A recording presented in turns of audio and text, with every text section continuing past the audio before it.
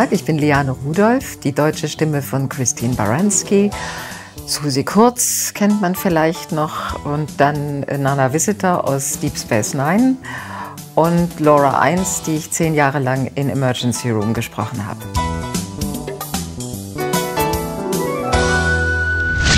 Ganz jung. Ich war am Schillertheater engagiert und hatte von einer jungen Kollegin gehört, dass sie synchron macht. Äh, ja, dann fiel mir irgendwann ein, ah ja, stimmt, die Leute müssen ja Deutsch sprechen in den ausländischen Filmen. Und dann gab es einen Kollegen, der Sigmar Schneider, der war ein Synchronstar und war auch im Schillertheater. Den habe ich dann irgendwann gefragt, naja, ob ich meine Liste von Firmen haben könnte, die hier in Berlin sind. Und das hat er mir dann gegeben und dann habe ich da angerufen, aber das hat eine ganze Weile gedauert, ich glaube fast ein Jahr, ich dann endlich meinen ersten Termin im Synchronstudio hatte.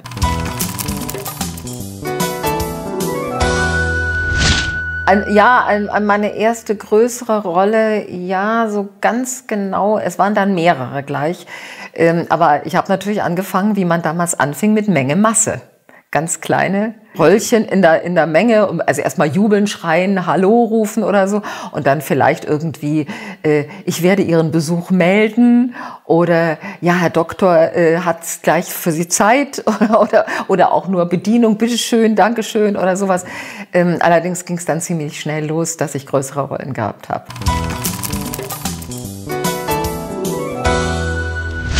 Ganz selten.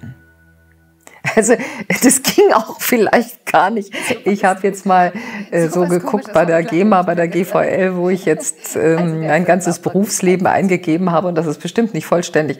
Und es sind trotzdem äh, circa 10.000 Einträge. Ähm, also das geht gar nicht. Ähm, und ähm, naja, also ich habe jetzt gerade einen Film gemacht, Bad Moms. Und äh, da habe ich die Christine Morans ges gesprochen. Und den werde ich mir jetzt Weihnachten mit meiner Tochter anschauen. Das lasse ich mir nicht entgehen, weil ich also wirklich finde, dass der Film sehr witzig ist und vor allen Dingen meine äh, Darstellerin, die ich da spreche, äh, das einfach super macht und die saukomisch ist. Und dann habe ich mir gesagt, das muss ich mir jetzt mal anschauen.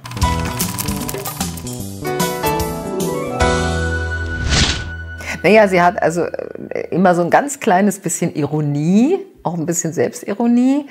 Äh, sie ist einfach eine tolle Schauspielerin mit vielen Nuancen. Sie ist ja auch nicht immer gleich. Also Big Bang ist ja wirklich eine absolute Nervensäge.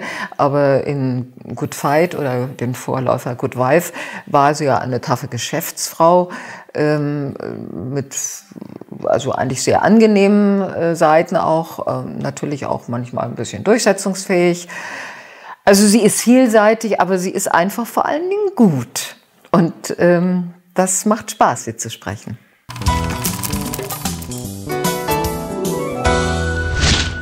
Naja, ich bin ja relativ selten davor gekommen, also äh, oder angefordert worden.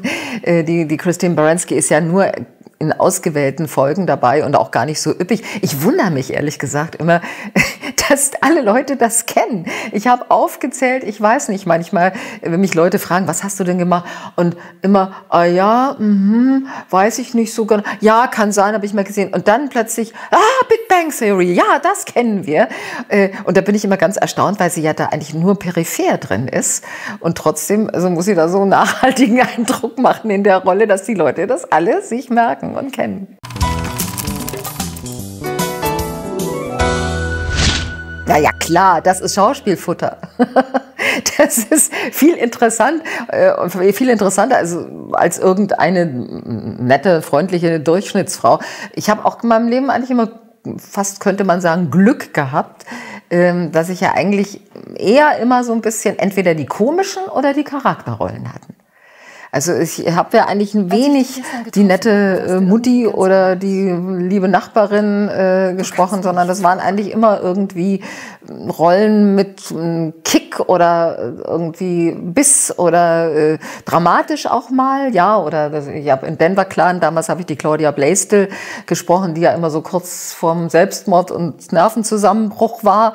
Ähm, also ähm, das ist natürlich eigentlich für eine Schauspielerin am interessantesten. Und das, da bin ich eigentlich froh, dass ich dann spätestens, als ich 30 äh, war, dann so ein bisschen eher ins Charakter- oder Komikerfach gerutscht bin. Vorher habe ich ja meistens immer die doofen, kleinen, süßen Blondinen gesprochen, möglichst noch lispelnd.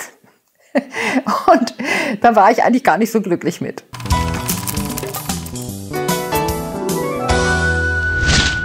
Doch ein bisschen bedauert habe ich das schon, wenn ich ehrlich sein darf.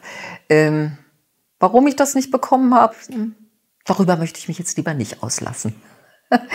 äh, man muss vielleicht dann, sage ich mal, zur rechten Zeit am rechten Ort und mit den richtigen Menschen in Kontakt sein. Äh, wenn man das dann nicht ist, äh, ja, dann kriegt man das vielleicht nicht. Aber ich musste auf der anderen Seite sagen, ich äh, war vielleicht eher mal so ein bisschen immer überall Nummer zwei, aber dafür dauerhaft ausdauernd seit 45 Jahren jetzt im Gewerbe. Und da kenne ich einige, äh, die hatten mal die Fetten und die sind weg und nicht mehr da. Und äh, insofern glaube ich, kann ich auch ganz zufrieden sein. Und dann habe ich ja sowieso in den letzten Jahren, eben jetzt nochmal in den letzten 20 Jahren, diese Schauspielerinnen abbekommen, die ich jetzt eigentlich alle aufgezählt habe. Diese erste war Nana Visitor in 93 äh, ungefähr, die ich da äh, mit Deep Space Nine angefangen habe. Äh, und die anderen sind ja danach erst gekommen. Also ähm, insofern habe ich dann doch irgendwann noch ein paar gute, schöne, nette äh, interessante Schauspielerinnen abbekommen und damit bin ich eigentlich ganz zufrieden.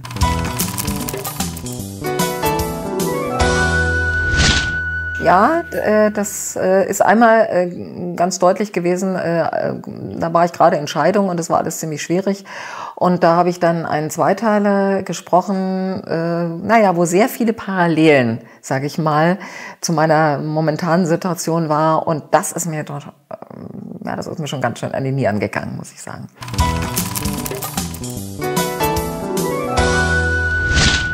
Ja, ein bisschen schon. Ja, das gehört ja auch dazu, dass man sich hineinversetzt. Ja, und äh, natürlich, ja, im Laufe der Zeit kriegt man eine gewisse Routine und äh, steigt vielleicht nicht mehr ganz so ein, aber doch, das muss man schon. Man muss schon äh, da sich auch drauf einlassen, ja.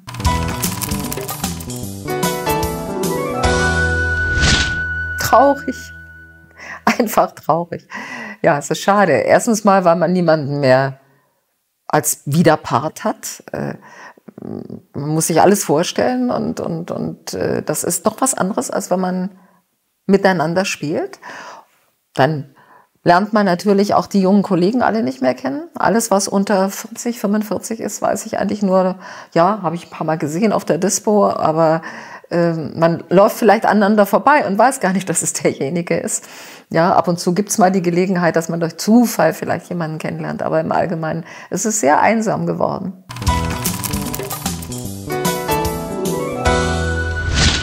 Naja, mit Martin Hirte auf jeden Fall sehr vom Schiller Theater damals ja, mit Norbert Gescher habe ich etliche Liebespaare gesprochen. Äh, ja, Norbert Langer auch. Äh, also da gab es eigentlich eine ganze Reihe. Friedrich Webau Schulte natürlich auch. Ja, ich habe gelernt. Also als ich ganz jung anfing und auch Menge Masse machte und so, da habe ich ja dann wirklich hinten gesessen. Alle mussten ja in dem jeweiligen Take vor der Kamera, äh, vor dem Mikrofon stehen. Und man saß also hinten und wartete vielleicht fünf, sechs, sieben Takes, bis man wieder dran war. Und dann hat man natürlich zugehört zugehört und gesehen und gehört, wie die Kollegen das machen. Da hat man äh, viel lernen können, viel abgucken, abhören äh, sich können, was ich glaube heute ein bisschen den jungen Kollegen fehlt. Eine anständige Sprechtechnik lernen.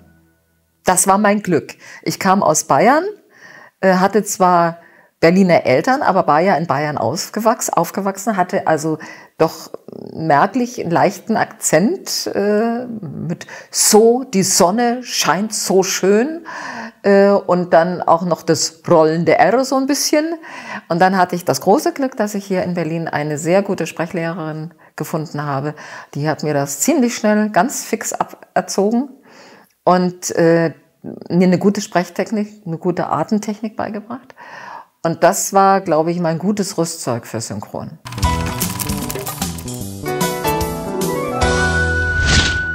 Das würde ich schon auch sagen. Das hatte ich ja auch, aber äh, es gibt sicher Ausnahmetalente. Ja, aber ich habe doch das Gefühl, dass äh, Leute, die so nur autodidaktisch reinsteigen, irgendwann an ihre Grenzen kommen. Also ich finde übrigens, ich merke es sehr deutlich bei der Werbung. Ich habe ja selber über zehn Jahre für eine Werbeagentur Regie gemacht und habe da auch immer wieder Leute aus dem Synchron äh, geholt und ausprobiert, die bis zu dem Zeitpunkt wenig oder gar keine Werbung gemacht hat, haben, hatten. Ähm, und äh, habe festgestellt, also ich finde, Werbung ist mit das Schwierigste überhaupt, weil ich muss ja innerhalb von kürzester Zeit mehr oder weniger äh, mir eine Szene ausdenken. Wenn ich also nicht gerade einen Abbinder oder was spreche, äh, aber in vielen Fällen ist das ja, ich muss eine Geschichte erzählen oder, oder ich habe sogar einen Partner und das ist alles ganz kurz und muss sehr genau sein und ich muss vor allen Dingen mir selber was kreieren. Ich habe ja kein Bild und nichts und gar nichts. Ich habe ja nur das Wort. Und das finde ich, äh, ist eigentlich die hohe Schule ein bisschen des Schauspiels. Und da habe ich eben dann gemerkt wirklich, dass doch bei vielen diese Vorstellungskraft, diese Entwicklungsfähigkeit nicht da ist.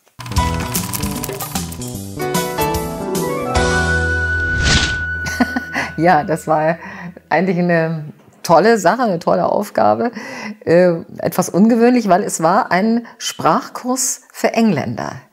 Ähm, es gab mal in den 60er Jahren sowas Walter und Conny, äh, da war ein, ein, englisches Paar, was dann den Deutschen Englisch beibringen sollte. Und das war so ein bisschen in der Richtung, es waren zwei Paare. Und das Ganze war allerdings völlig ohne Deutsch. Also es wurde anhand von Beispielen Sätze wie, wie komme ich zu? Äh, oder wo bitte ist? Und so wurden kleine Spielszenen äh, gemacht, äh, im, im Studio in unterschiedlichen Situationen.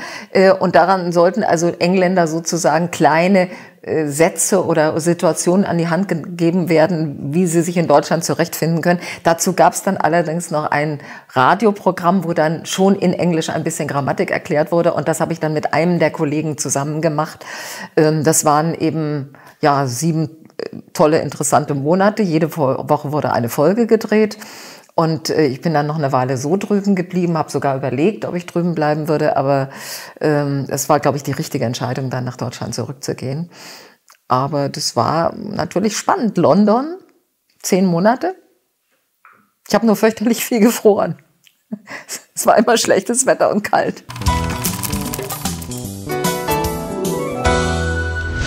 Das kann man so nicht sagen. Also Theater hat mir schon auch sehr viel Spaß gemacht, aber ich vielleicht hatte ich den meisten Spaß in meinem Leben doch im Synchron. Äh, und zwar ähm, einfach, äh, weil es so abwechslungsreich ist. Wenn ich jetzt Theater spiele, äh, ich habe ja meistens en suite gespielt, also ein Stück ein paar Monate hintereinander. Bei den Stachelschweinen am Schluss habe ich dann ein Programm ein Jahr gespielt. Und äh, das ist dann natürlich schon immer sehr viel Routine und immer dasselbe. Und beim Synchron ist es so, ich habe nie eine Sache zweimal gemacht. Jeder Film ist immer wieder neu, jeder Take ist immer wieder neu. Ähm, und äh, ich habe ein Gedicht über meinen Job gemacht, die Synchronsprecherin. Da heißt es, ich erstarre nicht in Routine. Vormittags spreche ich eine Biene, nachmittags die Frau im Mond. Das kann ich eigentlich nur an dieser Stelle so sagen. Ähm, das beschreibt es. Ähm, und äh, von dramatisch bis komisch, alles quer durch den Garten konnte ich da an Facetten äh, spielen und äh, ausschöpfen, was äh, eigentlich dieser Beruf zu bieten hat.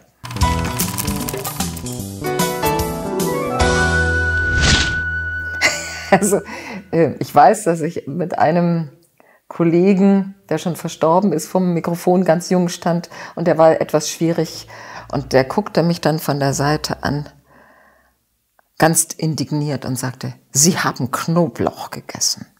Und in dem Moment bin ich wirklich, also das, da war ich 21, in die Erde versunken.